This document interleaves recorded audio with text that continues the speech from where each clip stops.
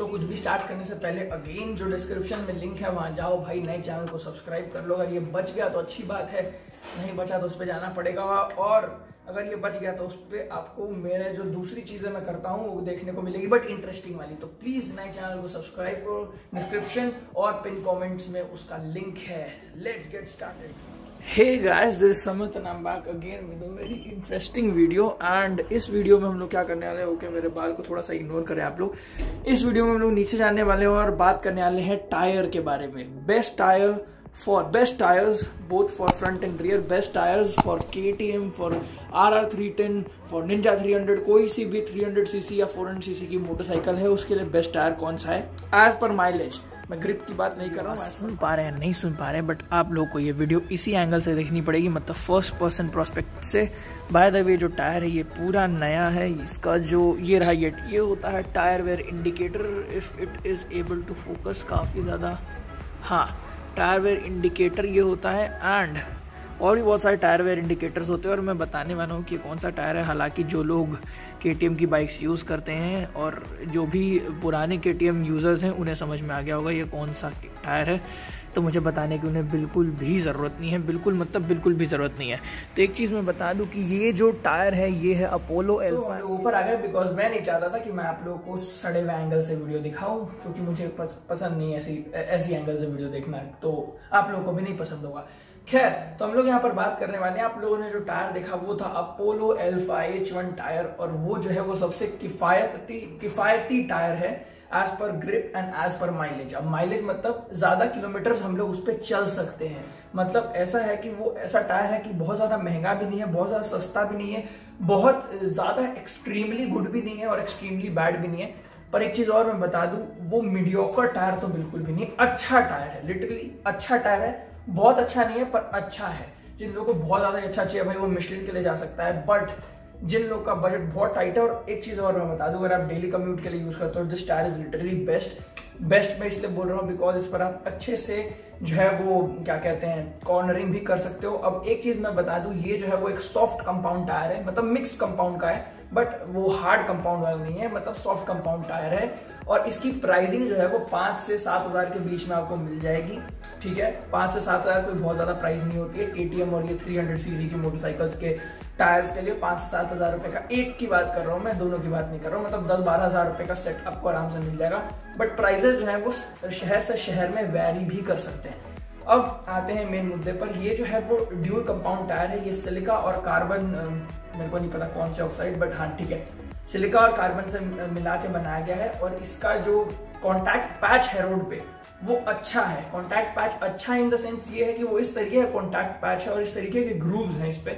जो we type के grooves हैं, वो हाइड्रोप्लेनिंग नहीं होने देते। हाइड्रोप्लेनिंग पर कभी और बात करेंगे बट मैं सिंपल से एक चीज़ ये टर्म बता दूँ कि हाइड्रोप्लेनिंग का मतलब ये होता है कि जब बारिश होती है, जैसे मैं जिस शहर में रह रहा हूँ लाइक मुंबई जो मेरे मुंबई वाले भाई लोग समझ रहे होंगे या जो भी भाई लोग जिनके यहाँ पे बारिश ज़्यादा होती है, या अगर आपके बारिश नहीं भी होती है, फिर भी ये टायर बारिश में बहुत अच्छा बहुत उमदा परफॉर्म करने आना है बिकॉज़ इसके जो ग्रूव्स है वो हाइड्रोप्लेनिंग नहीं होने देंगे। अब हाइड्रोप्लेनिंग का मतलब ये है कि आपका जो टायर है, वो रोड पर नहीं, बल्कि पानी पे चल रहा है। सुनने में बहुत अनप्रैक्टिकल लगता है बट हाँ ऐसा ही कुछ होता है और इस वजह से जो ग्रिप है मतलब जो कॉन्टैक्ट है आपका रोड के साथ नहीं, पानी के लेवल मतलब जो लेयर है रोड पे, उसके साथ होता है। उस वजह से उस वजह से आपके फिसलने के चांसेस बहुत ज़्यादा हैं, बहुत कुछ है, उसके बारे में बाद में बात करेंगे। बट मैं इतना बता दूँ, क्योंकि इस वीडियो का मैं ऐसा चाहता हूँ कि आप लोग को एकदम अच्छे से समझ में आ जाए मतलब आसानी हो समझने में और कॉम्प्लिकेटेड कॉम्प्लेक्स वीडियो जैसा ना हो। तो ऐसा है कि वेट में बहुत अच्छा परफॉर्म करने वाला है। हाँ बट अगर आपके बाइक में टायर अगर नहीं लगाए तो पता नहीं आपके कपड़ों का क्या होगा, या फिर अगर आप दिन में किसी को बिठा के लेके जा रहे हैं तो उसके कपड़ों का क्या होगा। बट बाकी वेरी गुड वेरी गुड ये टायर को, टायर से जो पानी है, उसको काफ़ी दूर हटाता है। उसके बाद ये zero degree steel belted tyre है। अब बहुत सारे टायर्स आते हैं मतलब अगर मैं बताऊँ तो ये रेडियल टायर है but zero degree steel belted का मतलब वो कभी किसी और वीडियो में बताऊँगा बट एक चीज़ मैं बता दूँ कि फैब्रिक बेल्टेड टायर्स भी होते हैं और स्टील बेल्टेड टायर्स भी होते हैं। जो रोड और आपके टायर के बीच में जो कॉन्टैक्ट पैच है उस पर जो स्टेबिलिटी है, वो उतनी अच्छी नहीं होती है फैब्रिक बेल्टेड टायर में, जितनी अच्छी स्टील बेल्टेड टायर में होती है। अब ये चीज़ समझने के लिए तो और डीप में जाना पड़ेगा, बस इतना समझ लो आप कि ये जो है, ये अच्छी चीज़ है, ये होनी चाहिए। तो ये सारी चीज़ें हैं और अगर प्राइसिंग में बताऊँ तो काफ़ी कम है, मैंने पहले ही बता दिया। और अब अगर अपना रिव्यू में बताऊँ तो वो ये है कि इस टायर को ऑलमोस्ट ऑलमोस्ट ज़्यादा नहीं बट मैंने तीन, साढ़े तीन, चार हज़ार किलोमीटर चलाया होगा बिकॉज़ अभी मेरी बाइक ने चौदह सॉरी सोलह हज़ार किलोमीटर ही किए हैं और ये दूसरा सेट ऑफ़ तीसरा सेट ऑफ़ टायर है। पहले जो मेडजिलर्स थे, उसके बाद मैंने पिरेली के दूसरे लगाए थे, उसके बाद मैंने रोसो टू लगा लिए थे। अभी भी फ्रंट पे रोसो टू ही है बिकॉज़ मुझे पता नहीं कि उससे बहुत ज़्यादा प्यार है। वेयर आउट होने वाला है प्रॉपरली नहीं हो गया बट हाँ इतना हो गया है कि वो कभी भी धोखा दे सकता है तो मैं उससे चेंज करवा लूँगा खैर तो अगर मैं अपना रिव्यू बताऊँ तो एक चीज़ है, ये चलता तो बहुत ज़्यादा है।